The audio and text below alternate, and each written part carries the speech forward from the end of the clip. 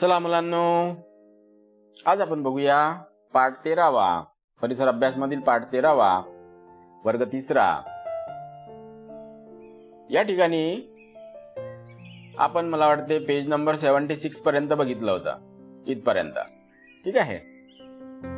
आता या व्हिडिओमध्ये आपण बघूया पेज नंबर सेव्हन्टी सेवन सांगा पाहू. एकाच दिवशी वर्गातील प्रत्येकाच्या घरी भोपळ्याचीच भाजी असेल का? हो की नाही. नाही असणार. नेक्स्ट रोज तेच तेच जेवण बनवले तर तुम्हाला आवडेल का? नाही आवडणार. कोणालाच आवडणार नाही. आंबे आपल्याला वर्षभर का मिळू शकत नाहीत? कारण आंबे हे एका विशिष्ट ऋतूमध्ये येतात. म्हणून ते आपल्याला वर्षभर मिळत नाही. ठीक आहे? अन्न पदार्थामधली विविधता कशी आहे ते बघूया. भुकेप्रमाणे आपण कमी जास्त खातो. त्यावरून आहार थोडा आहे की जास्त आहे हे ठरते. जेवढी भूक असली आपण तेवढंच जेवण करतो की नाही? ही झाली आहाराविषयी एक माहिती. आपण कोणते अन्न पदार्थ खातो ही माहिती पण घ्यायला हवी. म्हणजे आहाराविषयी माहिती पूर्ण होईल. निरनिराळ्या लोकांच्या आहारामध्ये निरनिराळे अन्न पदार्थ असतात. त्यांची कारणे काय असणार? जसं आपण विदर्भामध्ये राहतो. आपल्याकडे ज्वारी गहू मुबलक प्रमाणामध्ये पिकते. मग जेवणामध्ये काय काय असते? पोळी भाकरी ज्या भाज्या पालकाची भाजी असते भेंडी मिळते बाजारामध्ये. कारण सहजरित्या उपलब्ध होते म्हणून. ठीक आहे? पाहूया. एका घरात रोज ठराविकच पदार्थ बनवले तर ते अन्न पदार्थ सतत खावे लागते. तेच ते तेच ते. मग काय होईल? जेवण कंटाळवाने होईल. म्हणून अन्नपदार्थ आलटून पालटून करतात. हे आईला बरोबर माहीत असते. मी डाळ भाजी खात नाही किंवा वांग्याची भाजी खात नाही तुम्हाला कशा कोणती भाजी आवडत नाही तीच भाजी बरोबर ती पोळींमध्ये टाकून तिच्या पुऱ्या बनवून तरीही तुम्हाला खाऊ घालते. कारण तिला माहीत असते की पूर्ण अन्नपदार्थ याच्या शरीरात गेले की याच्या शरीराची वाढ होईल याच्या शरीराचा विकास होईल. हा हुशार बनेल. तरी पण ते तुम्ही जेवण करून अभ्यासाला बसता. मग तुम्हाला माहिती होत नाही आपण पुऱ्या कशाच्या खाल्ल्या? त्या फक्त खायला छान वाटतात. बरोबर आहे? किंवा मग पराठे बनवते आई. असं सहज म्हणून सांगितलं. जेथे भात भरपूर पिकतो तेथील लोकांच्या खाण्यात भात जास्त असतो. तर ज्या भागात ज्वारी किंवा बाजरी जास्त पिकते तेथील लोकांच्या जेवणामध्ये काय असेल जास्ती? भाकरी. काही भागामध्ये गहू जास्त पिकतो.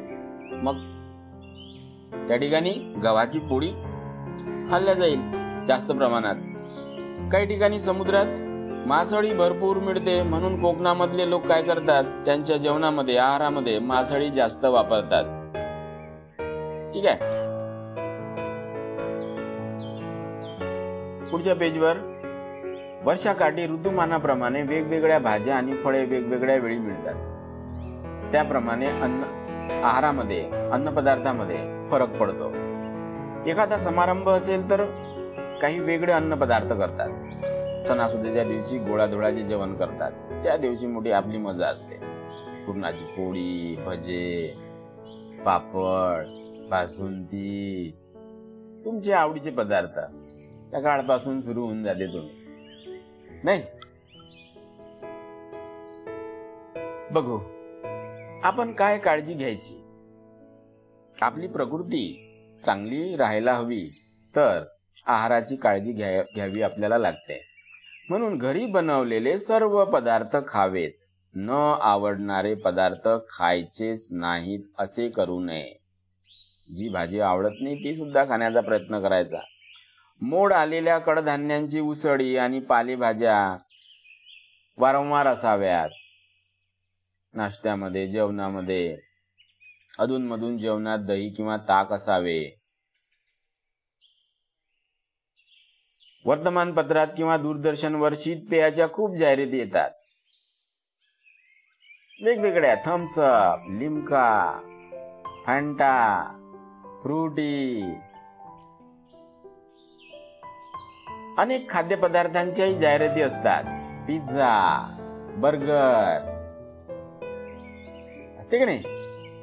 ते अन- ते पदार्थ विकत घ्यावेत असा मोह पडतो. कारण टीव्ही मध्ये पाहिल्यानंतर असं वाटते की नाही आपण ते ते घ्यायलाच पाहिजे. आणि आईबाबांना आपण बरोबर त्यासाठी म्हणतो सुद्धा. ते पदार्थ चवदार असतात आकर्षक वेस्टर्नात मिळतात पण ते आरोग्याला चांगले असतीलच असे नाही. मग आरोग्याला चांगलं असं काय आहे? जे आई घरी बनवते. ते आरोग्याला चांगलं असते. म्हणून घरी बनवलेलं बन जेवणच आपण घेतलं पाहिजे. ग्रहण केलं पाहिजे. कारण आई जेव्हा स्वयंपाक करते स्वच्छतेची पूर्ण काळजी घेते. बाहेर बघा बरं तो आलूगुंडे समोसे कचोऱ्या काढतो. किती घाण असते त्याची गाडी. त्याची कढई बघा किती घाण असते. नूडल्स करणाऱ्याची कढई बघा किती घाण असते. पूर्ण उघड्यावर बनवते तो धूळ पडलेली असते. तरी मात्र आपल्याला आवड बाहेरचं खायची. हो की नाही? असं. आपण काय शिकलो? दिवसभरात जे खाद्यपदार्थ आणि पेय पदार्थ पोटात जातात त्या सर्वांना मिळून आहार म्हणतात हे आपण बघितलं.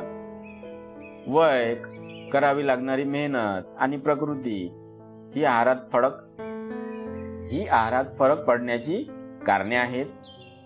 ऋतुमानाप्रमाणे मिळणाऱ्या अन्न पदार्थामुळे आहारात बदल होतात.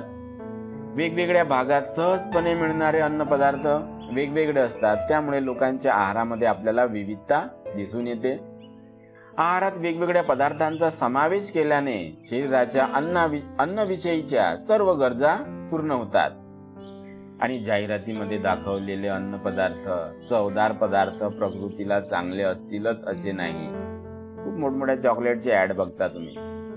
पिझ्झा बिस्किट नुसतं बिस्किटच खायचे का? बरं चिप्सची ऍड असते. मोठू बदलू. आजकाल तर दुकानात कॉलनी मधल्या दुकानात मोठे मोठे बाहेरच ठेवलेलं असते लटकून गेले घेतलं खाल्लं. पाच रुपये मागितले गेले आपण पटकन घ्यायचं खाऊन मोकळं व्हायचं. अरे असे पदार्थ नाही खायचे.